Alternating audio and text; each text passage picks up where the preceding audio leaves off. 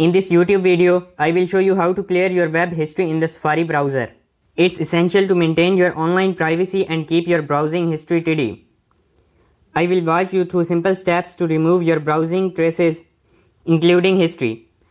Whether you are using Safari on a Mac or iOS device, you will learn how to clear your web history efficiently. Watch this video to ensure your browsing remains private and clutter-free in Safari. To clear web history in Safari, Step 1. Open Safari. Step 2. Click on History in the top menu bar.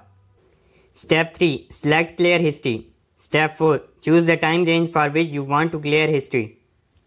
E.g. All history, the last hour or today. Step 5. Click Clear History to confirm.